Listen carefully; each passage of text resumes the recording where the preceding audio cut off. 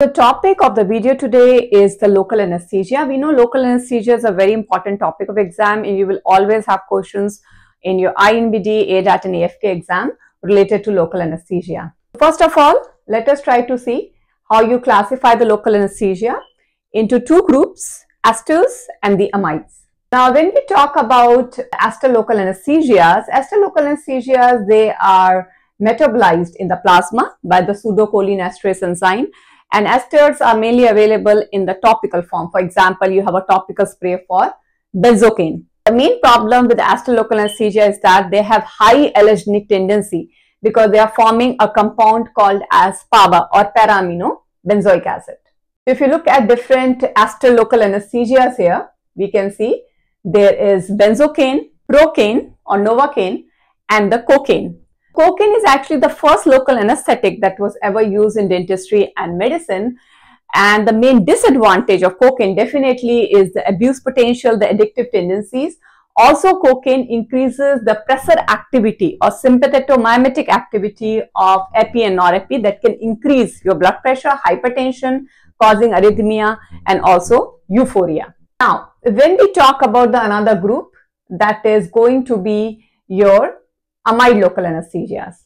Amide local anesthesias, all of them are metabolized in the liver. The enzyme used is P450. Now, very important the exception because exceptions are always asked in the exam.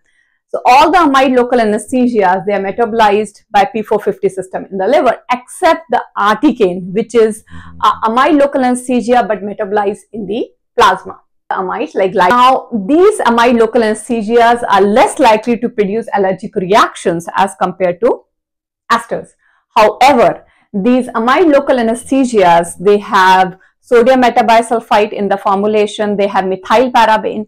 Now methyl paraben and sodium metabisulfite they can still produce allergic tendency in the amide local anesthesias.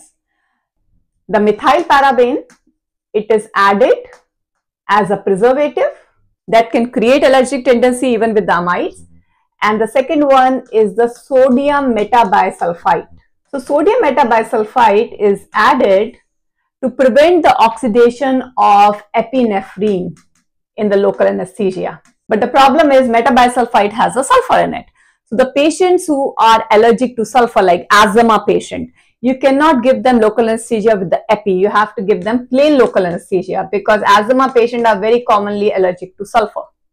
So if the formulation does not have epi, epi is not going to have the sodium metabisulfite either. We have some plain formulation like you have a carbocaine 3% that can be without epi as well. Now, when we talk about the next one here, if you can see, for the next group of the local anesthesias we have so this articaine, prilocaine and bupivacaine. Articaine also known as uh, septocaine. The prilocaine also known as citanest which can be available with or without epi and bupivacaine or marcaine which is one of the longest acting local anesthesia we have but it is very cardiotoxic. So you don't use bupi or, mar or marcaine in the heart patients. It is mainly used for long procedures like during the delivery procedure where you need a long time motor control. Now the articaine is always available with the epi and as I told you it's an exception. It is metabolized in the uh, plasma however it's amide. Also the carpule of the articaine is 1.7 ml instead of the regular cartridge we have of 1.8 ml. Now for prilocaine there is one more important point here that the prilocaine metabolized to form methemoglobinemia.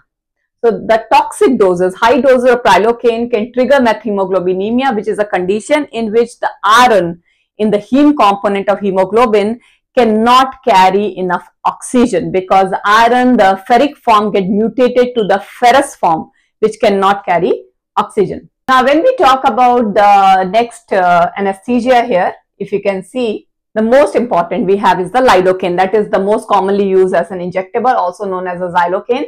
And this lidocaine or xylocaine is available with epinephrine. You have 1 is to 100,000 formulation. You have 1 is to 200,000 formulation of lidocaine xylocaine. It can also be used as a topical. Lidocaine or xylocaine also is used as an antiarrhythmic agent to treat life threatening ventricular arrhythmias. Now the mepivacaine or carbocaine is the shortest acting local anesthesia we have and this anesthesia is used for short procedure which are lasting for not more than 25 minutes. However, mepivacaine or carbocaine cannot be used for labor procedures or for neonates. It is going to be toxic. But you can have mepivacaine, carbocaine, the plain formulation like 3% mepi without epinephrine. It can be definitely used for the heart